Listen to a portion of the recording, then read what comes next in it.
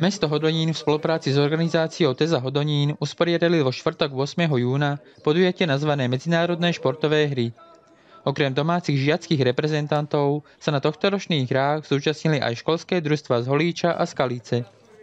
Mladí športovci si zmerali sily na futbalovom a florbalovom turnaji, devčenskej vybíjanej a v atletickom trojboji, ktorý zahrňoval disciplíny skok do diálky, hod kriketovou loptičkou a štafetu 4x100 metrov.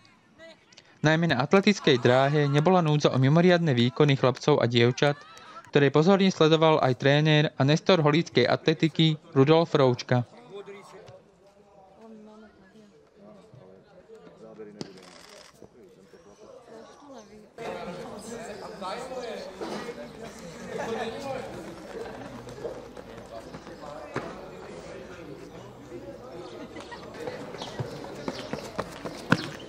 Πρέπει να πω, είσαι τα.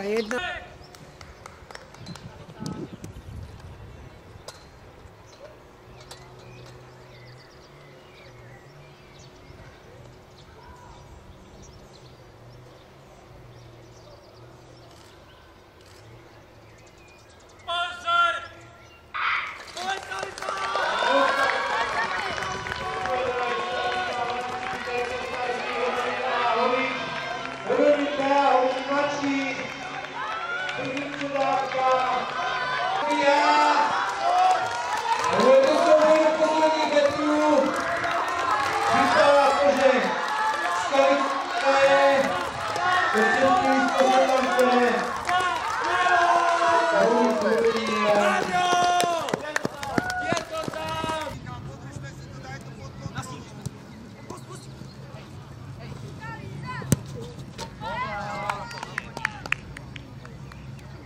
Najlepšie týmy oceňovali predstavitelia všetkých troch partnerských miest.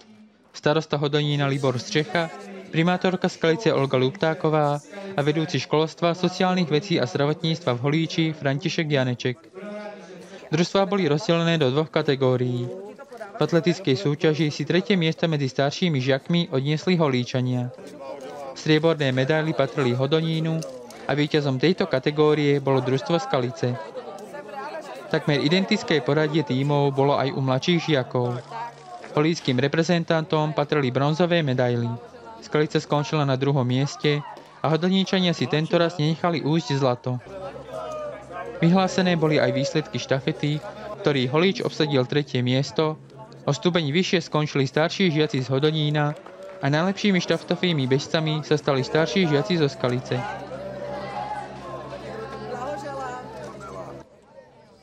O titul najúspešnejšej školy na medzinárodných športových hrách súťažili aj futbalisti. Družstvo Holíčanov skončilo medzi mladšími žiakmi na štvrtom mieste. Na stupne víťazov sa dostal tretí hodonínsky B tým, druhé miesto získali Skaličania a z výhry na turnaji sa radovalo A družstvo Hodonína. Aj starší žiaci z Holíča obsadili ako ich mladší kolegovia nepopulárne štvrté miesto, bronzové medaily brali Skaličania a turnaj starších ovládli domáci reprezentanti z Hodonína. Druhý skončil B tým a Ačko si odnieslo tie najcenejšie medaily. Predstavitelia miest poďakovali všetkým športovcom za účasť a pochvalovali si aj vzájomnú spoluprácu vo všetkých oblastiach spoločenského života. Nezabudli vyzvihnúť ani úroveň tohto podujatia, ktorá bola vysoká nielen vďaka kvalitným výkonom samotných aktérov, ale najmä vďaka ich zodpovednému a férovému súťaženiu.